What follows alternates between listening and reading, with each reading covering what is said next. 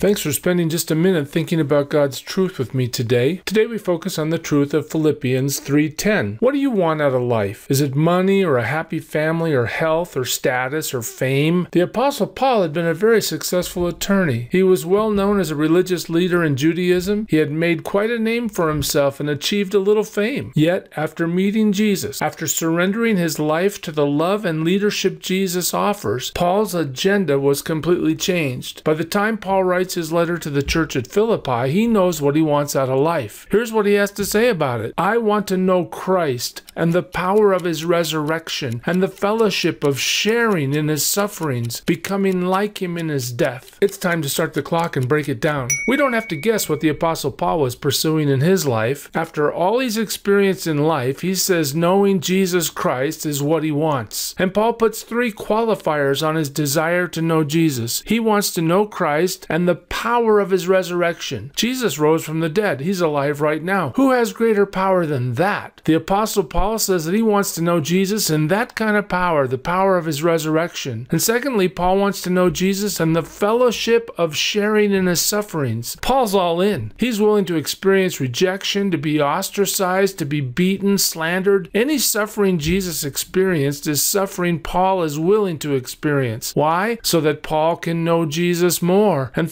Paul extends his willingness to follow Jesus all the way to death, becoming like him in his death. Paul says, I'm willing to die to accomplish God's purpose for my life. All this written by the guy that used to persecute Christians. It's safe to say that knowing Jesus transforms everything. What do you want out of life? You can't find peace or purpose? Well, your answer is right here. As always, I'm interested in your thoughts and comments. Please subscribe to this channel and share this video with whomever may benefit. And remember, knowing Jesus in his power, in his suffering, in his surrender to the Father's will, even to death, is the ultimate goal for any of our lives. Give your life to him. You will be transformed. Serve him well today. God bless you.